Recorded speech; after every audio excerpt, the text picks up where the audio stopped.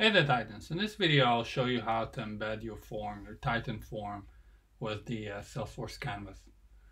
Alright, so let's uh, let's start. So what we have here on the form is a simple get by the account ID. We're going to pull up some of the account information and then we will be able to push multiple contacts to that account. Alright, so let's uh, head to Salesforce and set up our connected app. So we'll head to our setup we'll go to App Manager.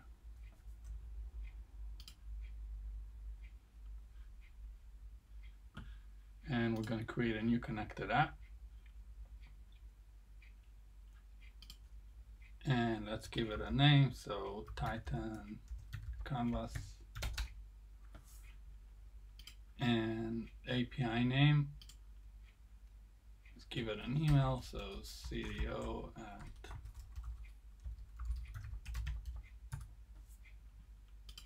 and that's that for the basic information. And our next thing is to enable all settings settings. And what we'll need to do is give the form titan callback URL and give it whatever access you like. So in my instance let's give it let's give it everything. You can modify it however you like and let's go get the canvas URL from Titan. So I'm to head over here to my limits, SF canvas. Let's just give it a simple name. Grab my URL. So always you will be your subdomain and the SF canvas callback. So we'll grab that. We'll put that callback over here. Then we'll scroll all the way down and tick the canvas. Again, canvas app URL, sign, uh, sign request post. In my instance, I'm just going to use it in a Visual Force page. And I'll put it over here. And the only thing we need to do is hit save and continue. It takes two to 10 minutes. So hopefully it will happen fast. All right. So we have the consumer secret right there. We need it for the app and we need the API name, which is Titan Canvas. So we'll head back to our SF Canvas. We'll grab it here. Um, our, our connected app consumer secret we'll put here and our API name we'll put over there. Hit save. We're all done. And notice this one right here, use Salesforce session, which means that whatever user will open the canvas, if you select this, all the create, update, delete operations will run on that user. And we'll use that user's permissions on that object. So we'll, we'll tick that, hit apply, and we'll save it.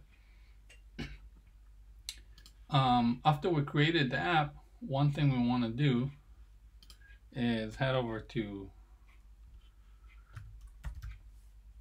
let's search connected apps. And we'll click manage connected apps. And I'll go to my Titan Canvas app. And I'll hit edit policies. And I'll say admin approved users are pre-authorized. And I'll hit OK and save this. And then I'll pre-approve some profiles.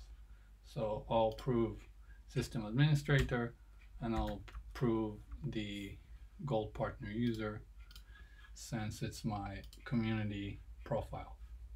So I'll show you this on the community as well. All right, so we're all done with the app. Only thing we have left to do is configure some things on Titan and then we're off to go. So technically you can use it as it is.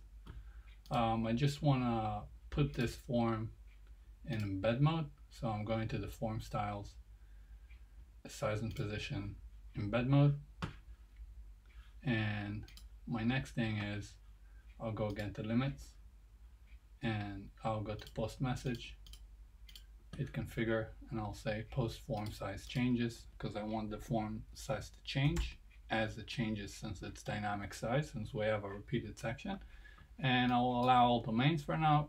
Usually you would put in just your Salesforce domain and I'll hit apply and save. All right, that's great. Um, my next thing I will do is just to make it easy, because now we have account ID is a hidden and we want to pass in the account ID to the um, to that hidden so the get will run and usually you'll do FLD31 in my instance I'll go back and I'll do URL params and I'll say ACCID equals ACCID so I can pass in I can pass it in just like so. And hit apply and save and I will publish it. Alright so what we're gonna do here is Salesforce and we're gonna do auto sizing and we're gonna select our canvas and our Salesforce object will be account and the field will be account ID all right so we have everything we need over here. We're just to grab that page head back to Salesforce and go to the Visual Force pages. And we'll create a new one. We'll call this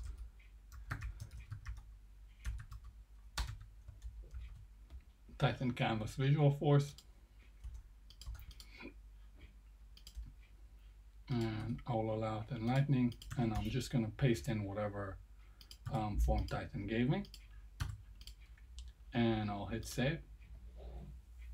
Next thing I need to do is uh, give some permissions. So I'll go back to uh, Visual Force pages. You can do it from the profile you can do it from um, other places as well. I'm just going to do it from here since it's the fastest.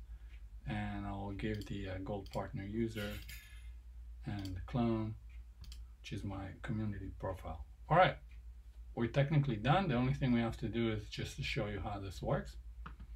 So I'm gonna head over to my account.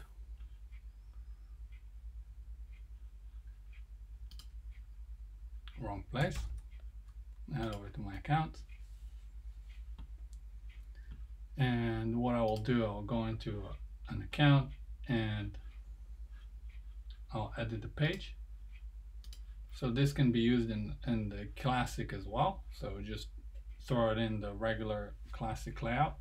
In this instance, I'll show it to you in Lightning and I'll grab the visual force, go to the details page, and let's just throw it up top.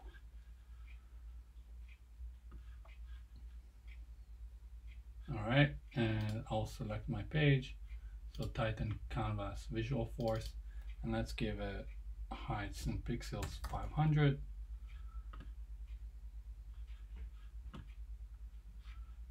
and I'll hit save.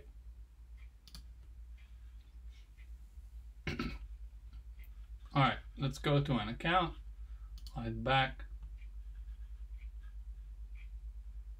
obviously need to fix the width over here and just. All right wonderful. So we see our canvas up looks very nice and we can see automatically we got the account name over here. All right let's take a look at the uh, contact so I'll create a contact first first and we'll put in some email some email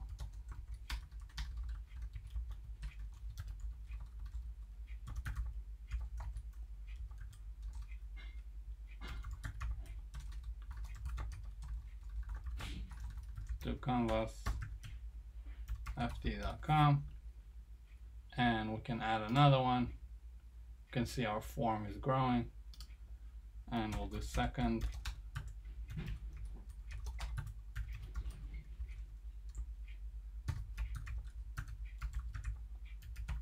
All right and we'll hit submit. Our form is being submitted thank you very much. And if I will refresh the page and go to the related, I'll see my two contacts. Now one thing to note about this, if I'll head to the first first, I'll see that the, uh, I'll go to the details, you'll see that the contact owner is Brave Donkey and it was also created by Brave Donkey. So now let's head over to our um, community and I'll show you how it's done over there and what's special about use Salesforce session. So we're gonna go to uh, all communities. Just gonna grab the URL from there. All right, and open incognito.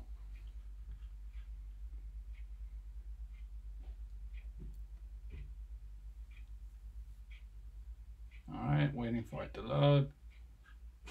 All right, great. Let's put my username over there. I'll log in. And one thing we forgot is to add the page to the community. So let's go to the builder.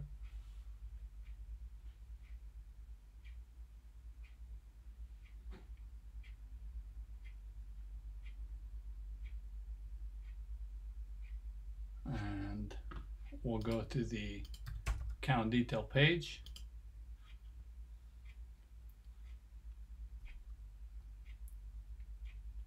Internet is being very slow today.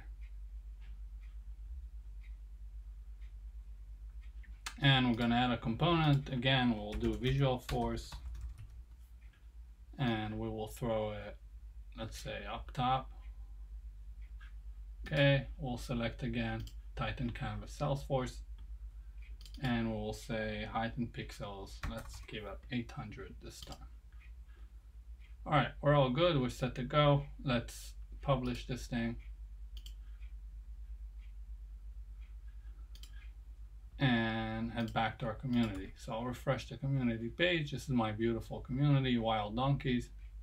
And once it's loaded, I'll show you how it works. So I'll go to an account, let's say, um, let's select this one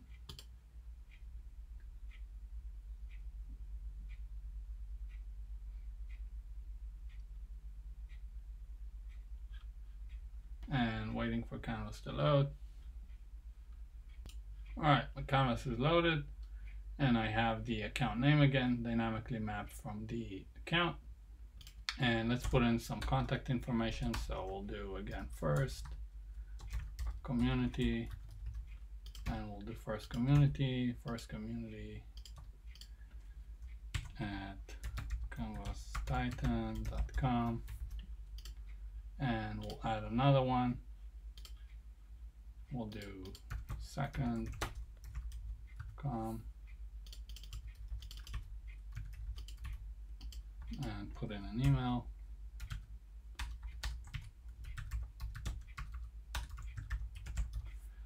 And we'll submit. All right so everything is done. Now let me show you the, con the contacts that were created. So I'll refresh the page or better I will just go to the admin part. We'll stay here and then we'll go to the admin. All right so let's see the contacts so I have first and second. The community ones and I'll log in I'll go into that to that contact. So you can see here that it was created by Jack Rogers which is my community user. And this is why um, it's really cool to use to use Salesforce session because you get the Salesforce session in the canvas because you get whatever action is happening on that canvas will happen from that logged in user. So if it's a community or a community partner, a community customer, it will um, it will communicate to Salesforce through there. Uh, one thing to note is, um, however great that is, you will need to um, to figure out the permissions and all that stuff because it just uses that um, user's permissions. And this is how it's done.